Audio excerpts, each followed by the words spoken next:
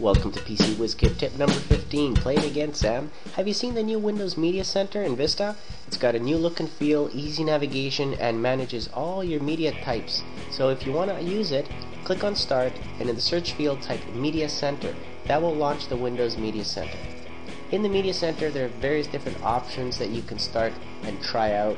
For example, the pictures and videos is a neat little library management for all your, your photos and videos that you might have on your PC. Media Center will scan and add those automatically for you. You can go into the tools and set everything up from there and describe how you want uh, the media to be managed. There's a neat feature called Spotlight which has access to games and online media such as TV shows and movies that you can download. It has, of course, the standard music library so that you can manage all your uh, music files.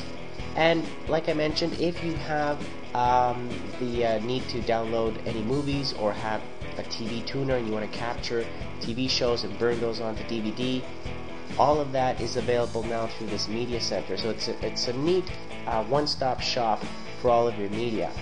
This is available in the Home Premium Edition and the Ultimate uh, Edition of Windows Vista. I'll go into more detail in my next video for each function.